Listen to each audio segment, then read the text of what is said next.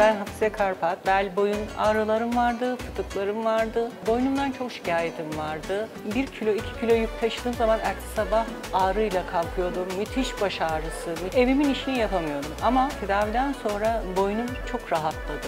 Çok hafif oldu. Her işimi yapıyorum. Ağrı kesicileri bıraktım. Çok memnunum. Hafize Hanım, boynumuzda, belimizde sıkıntılarımız vardı. Bizler ameliyatsız regresyon ve robotik lazer tedavilerimizi gerçekleştirdik. Biraz da zor fıtıklardı. Boyun bölgesinde çok güzel sonuçlarımız var. Bel bölgesinde biraz daha zamana ihtiyacımız var.